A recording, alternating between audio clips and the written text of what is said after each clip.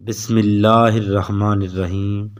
अल्लाह के नाम से शुरू जो नहायत मेहरबान और रहमत करने वाला है। गारा बनाने वाला मज़दूर एक नेक शख्स के घर की दीवार अचानक गिर गई। एक नेक शख्स था, उसके घर की दीवार अचानक गिर गई। उसे बड़ी परेशानी लाक हुई। वो उसे दोबारा बनवाने के लिए किसी मज़दूर की तलाश में घर से निकला और चौराहे पर जा पहुँचा। वहाँ उसने मुख्तलिफ़ मज़दूरों को देखा जो काम के इंतज़ार में बैठे हुए थे। उनमें एक नौजवान भी था जो सबसे अलग थलग खड़ा था। उसके एक हाथ में थैला और दूसरे हाथ में पतीशा था। उस शख्स का कहना है कि मैंने इस नौजवान से पूछा कि क्या तुम मज़दूरी करोगे? नौजवान ने जवाब दिया हाँ मैंने कहा, गारे का काम करना होगा।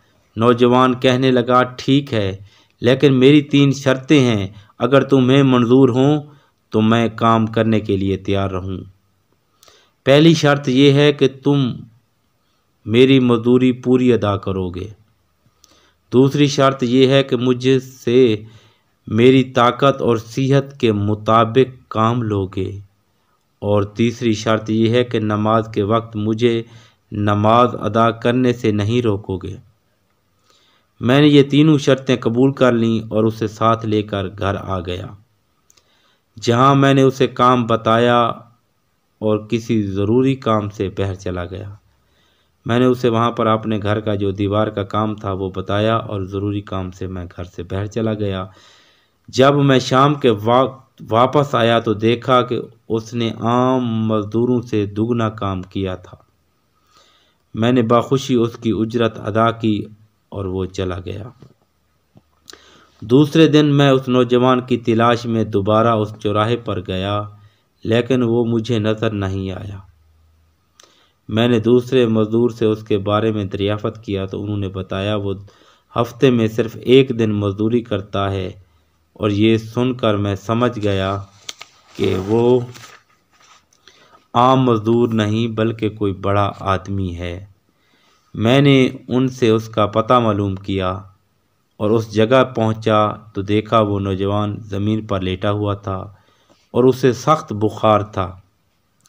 मैंने उससे कहा, मेरे भाई, तू यहाँ अजनबी है, तनहा है और फिर बीमार भी है। अगर पसंद करो तो मेरे साथ मेरे घर चलो और मुझे अपनी खिदमत का मौका दो। उसने इनकार कर दिया। लेकिन मेरे मुसलसल इसरार पर मान गया। लेकिन एक शर्त रखी कि वो मुझसे खाने की कोई शय नहीं लेगा।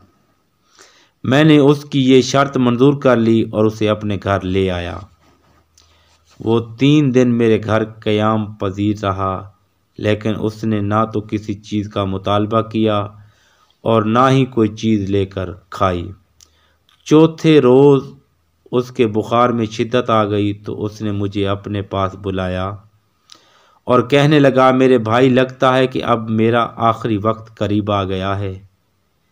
कुल्लो नफसिन जायक़तुलमौत कुल्लो मन अलैहा फ़ान, कि हर चीज़ ने फना हो जाना है। उसने मुझे पास बुलाया और कहने लगा, मेरे भाई, लगता है कि अब मेरा आखिरी वक्त करीब आ गया है। लिहाजा जब मैं मर जाऊँ तो मेरी इस वसीयत पर अमल करना कि जब मेरी रूह जिसम से निकल जाए तो मेरे गले में रस्सी डालना और घसीटते हुए बाहर ले जाना और अपने घर के इर्द गिर्द चक्कर लगवाना और ये सदा देना कि लोगों, देख लो अपने रब ताला की नाफरमानी करने वालों का ये हशर होता है। शायद इसी तरह मेरा रब मुझे माफ़ कर दे। जब तुम मुझे गसल दे चुको तो मुझे उन्हीं कपड़ों में दफन कर देना। फिर बगदाद में खलीफा रून रशीद के पास जाना और ये कुरान मजीद और अंगूठी उन्हें देना और मेरा ये पैगाम भी देना कि अल्लाह से डरो। कहीं ऐसा ना हो कि गफलत और नशे की हालत में मौत आ जाए और बाद में पछताना पड़े, लेकिन फिर इसी से कुछ हासिल ना होगा। वो नौजवान मुझे ये वसीयत करने के बाद इंतकाल कर गया। वो नौजवान मुझे वसीयत करने के बाद इंतकाल कर गया। मैं उसकी मौत के बाद काफ़ी देर तक आँसू बहाता रहा और गमजदा रहा। फिर ना चाहते हुए भी मैंने उसकी वसीयत पूरी करने के लिए एक रस्सी ली और उसकी गर्दन में डालने का कष्ट किया तो कमरे के एक कोने से निदा आई कि इसके गले में रस्सी मत डालना किया अल्लाह के अलिया से, अल्लाह के वली से ऐसा सलूक किया जाता है। ये आवाज़ सुनकर मेरे बदन पर कप कपी तारी हो गई। ये सुनने के बाद मैंने उसके पाँव को बोसा दिया। उसके कफन दफन का इंतज़ाम करने चला गया। उसकी तदफीन से फारग होने के बाद मैं उसका कुरान पाक और अंगूठी लेकर खलीफा के महल की जानब रवाना हो गया। वहाँ जाकर मैंने उस नौजवान का वाक़ एक कागज़ पर लिखा और महल के दरोगा से, इस सिलसिले में बात करना चाही तो उसने मुझे झड़क दिया और अंदर जाने की इजाज़त देने की बजाय अपने पास बिठा लिया। आखिरकार खलीफा ने मुझे अपने दरबार में तलब किया और कहने लगा, क्या मैं इतना ालिम हूँ कि मुझसे बरह रास्त बात करने की बजाय रुके का सहारा लिया। मैंने अर्ज़ की, अल्लाह ताला आपका इकबाल बुलंद करे। मैं किसी जुल्म की फरियाद लेकर नहीं आया, बल्कि एक पैगाम लेकर हाजिर हुआ हूँ। खलीफा ने उस पैगाम के बारे में दरियाफ़त किया तो मैंने वो कुरान मजीद अंगूठी निगाह कर उसके सामने रख दी। खलीफा ने इन चीज़ों को देखते ही कहा कि ये चीज़ें तुझे किसने दी हैं? खलीफा ने ये चीज़ें देखते ही कहा कि ये चीज़ें तुझे किसने दी हैं? मैंने अर्ज़ की, एक गारा बनाने वाले मज़दूर ने मुझे ये चीज़ें दी हैं। एक मज़दूर था जो गारा बनाता था। उसने ये कुरान मजीद और अंगूठी दी है। खलीफा ने इन अल्फाज को तीन बार दोहराया, गारा बनाने वाला, गारा बनाने वाला, गारा बनाने वाला मजदूर, और रो पड़ा। काफ़ी देर रोने के बाद मुझसे पूछा, वो गारा बनाने वाला अब कहाँ है? मैंने जवाब दिया, वो मजदूर फौत हो चुका है। ये सुनकर खलीफा बेहोश होकर गिर गया और अस्सर तक बेहोश रहा। मैं इसी दौरान हैरान और परेशान वहीं मौजूद रहा। फिर जब खलीफा को कुछ, फिर जब खलीफा को कुछ अफाका हुआ तो मुझसे दरियाफ़त किया कि उसकी वफ़ात के वक्त तुम उसके पास थे। मैंने इस बात में सर हिला दिया तो कहने लगा, उसने तुझे कोई वसीयत भी की थी? मैंने उससे उससे नौजवान की वसीयत बताई कि वो पैगाम भी दे रहा था, जो उस नौजवान ने खलीफा के लिए छोड़ा था। जब खलीफा ने सारी बातें सुनी तो मज़ीद गमगीन हो गया और अपने सर से इमामा उतार दिया, अपने कपड़े चाक कर डाले और कहने लगा ए मुझे नसीहत करने वाले ए मेरे जाहिद पारसा ए मेरे शफीक। इस तरह के बहुत से अलकाबात खलीफा ने उस मरने वाले नौजवान को दिए और मुसलसल आँसू भी बहाता रहा। ये सारा मामला देखकर मेरी हैरानी व परेशानी में मज़ीद इजाफा हो गया। खलीफा एक आम से मजदूर के लिए इस कदर गम ज़दा क्यों है?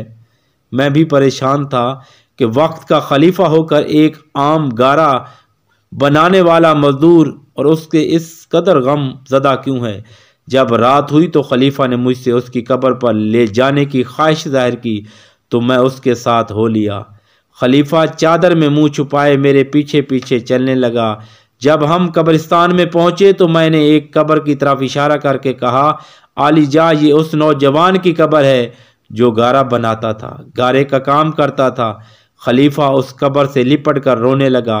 फिर कुछ देर रोने के बाद उसकी कब्र के सिरहाने खड़ा हो गया और मुझसे कहने लगा, मुझसे कहने लगा, ये नौजवान मेरा बेटा था। खलीफा हारून रशीद कहने लगा, ये नौजवान मेरा बेटा था। मेरी आँखों की ठंडक और मेरे जिगर का टुकड़ा था।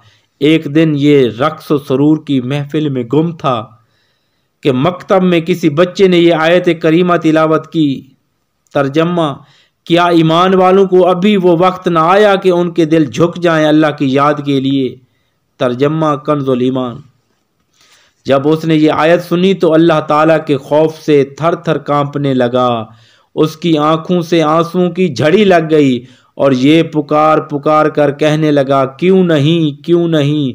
और ये कहते हुए महल के दरवाजे से बहर निकल गया। उस दिन से हमें उसके बारे में कोई खबर ना मिली। यहाँ तक कि आज तुमने उसकी वफात की खबर दी। ये खलीफा हारून और रशीद के बेटे, उनके जिगर गोशे साहबजादे का वाक़ था, जो सारी ज़िंदगी मेहनत मजदूरी करता रहा, बादशाही को छोड़ दिया। एक ही आयत सुनी थी कि क्या ईमान वालों को अभी वक्त नहीं आया कि उनके दिल झुक जाएँ अल्लाह की याद में। रब फरमाता है फ़ज़ करूनी अज़ करुकुम आए बल्ले आए बंदे, तू मुझे याद कर, मैं तुझे याद करूँगा। तू मेरा ज़िक्र कर, मैं तेरा ज़िक्र करूँगा। तू मेरा शुक्र अदा कर कि मैं तेरी नेमतों में इजाफ़ा करूँगा। अल्लाह रब्बुल की बारगाह में दुआ है कि अल्लाह ताला हमें अपने और अपने महबूब की ग़ुलामी नसीब फरमाए, अपनी और अपने महबूब की फरमा बरदारी नसीब फरमाए। अल्लाह ताला हमें चौबीस घंटे अपनी याद से गाफिल न करे, अपनी याद में मशगूल रहे। उम्मीद करता हूँ कि आपको ये वीडियो पसंद आई होगी। अगर आप इस चैनल पर नए हैं तो चैनल को सब्सक्राइब कर दीजिएगा, वीडियो को लाइक कर दीजिएगा और वीडियो को आगे शेयर कर दीजिएगा। अल्लाह ताला आपको दुनिया और आखरत की नेमतें अता फ़रमाए। अल्लाह पाक आपका हामी नासिर हो। आपने वसीम अब्बास को समात किया। आपकी समातों का बेहद शुक्रिया। फ़कीराना आए, सदा कर चले, सदा तुम खुश रहो। हम ये दुआ कर चले। अल अज़मतुल्लाह